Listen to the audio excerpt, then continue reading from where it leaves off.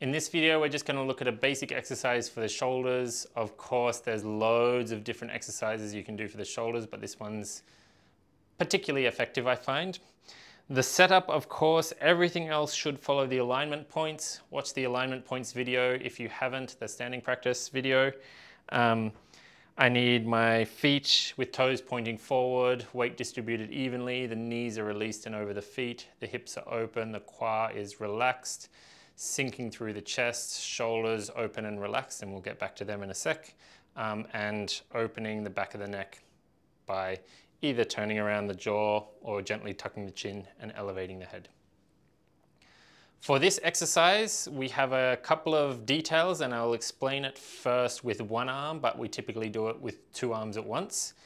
Um, the idea is we want to pay attention to this region here that's between the pectoral muscle and the deltoid, shoulder and chest basically for people who don't know their anatomy. There's this region here that tends to collapse like this, and you see all the wrinkles go on there. And with it collapsed, it affects the lungs for one. The lungs don't have as much space to expand through this region. You've got a bunch of acupuncture points for the lungs in that region too. If they're closed, uh, that struggles. And also the shoulder disconnects from the lat, which is what we're more interested in right now. To get the shoulder to reconnect with the lat, I need a couple of ingredients. One, I need this region to open out as if it flattens through here.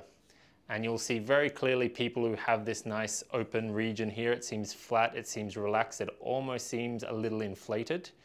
And when that happens, the shoulder tends to then sit back and down on the latissimus dorsi. The latissimus dorsi is this big muscle here, and it actually goes all the way down to the lower back and creeps up. And if you follow it up, it inserts in the armpit, which is really interesting. The lat is the big driving muscle for the arms if it's connected. It's a little bit like the glutes for the legs. If I don't have the lat connected to the arm and you see the size of this muscle, it literally takes up my almost my entire back. If I don't have the lat connected to the arm, all the work I do with my arm is going to come from delts, from trap, from shoulders and uh, up on the back of the neck here. And if that's happening, you're gonna be sore real quick. I don't care how buff your delts are, they're never, ever, ever as strong as a lat. The muscle's like four times as big. So learn to use the lat to drive the arms is the idea.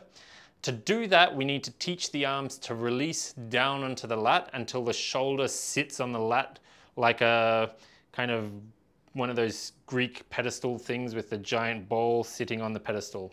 It's gonna sit down heavily on the lat if we release the shoulder enough.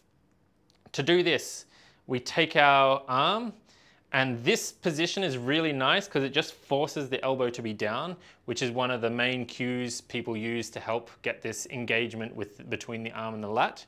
Um, once you learn how to do it with elbow down, you can keep the engagement and have the elbow risen and extending and all the rest, but you first need to learn to do it elbow down, it's easier.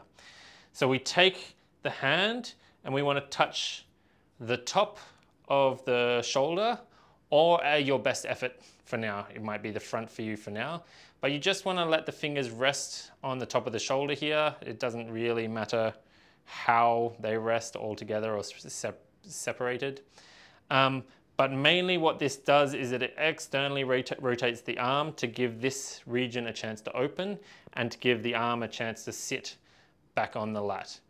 From here, if I already just try and keep my elbow where it is, but let the shoulder relax as much as possible, you might find the lat there already.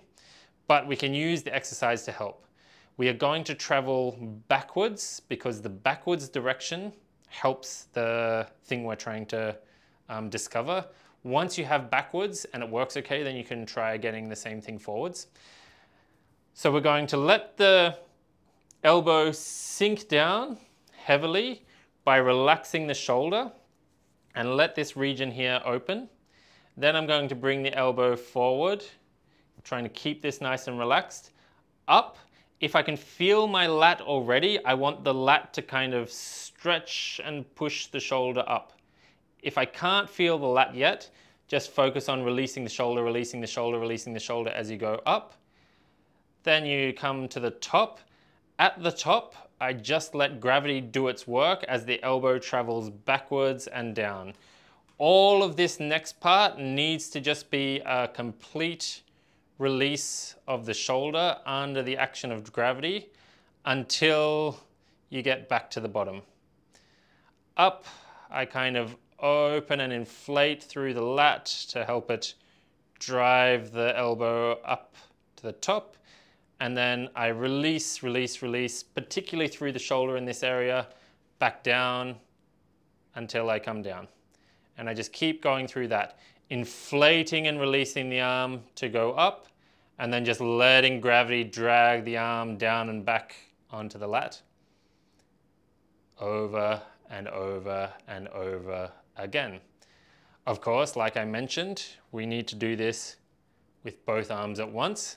I'll show it from the side so you can see. I first just let the arms relax heavily on the lats. This might be a bit gross to begin with. It'll rest on all sorts of dank, weak points.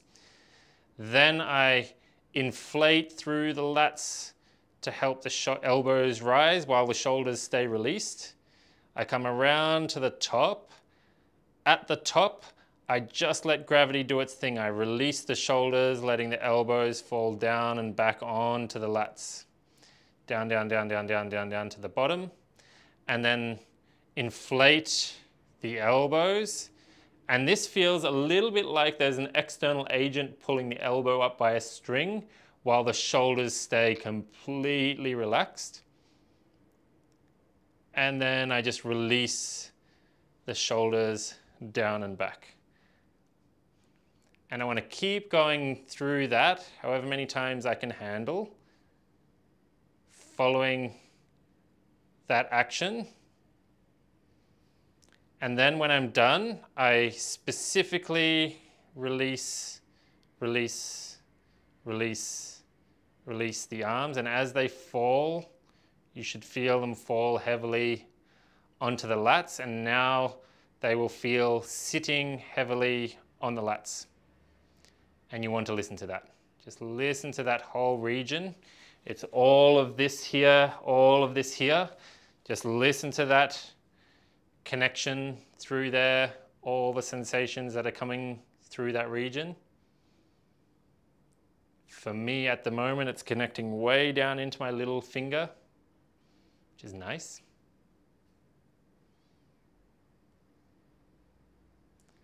And I stay there for as long as I need or want. And then when I'm done, I can do a nice little closing routine of any kind that you like. And then I'm finished.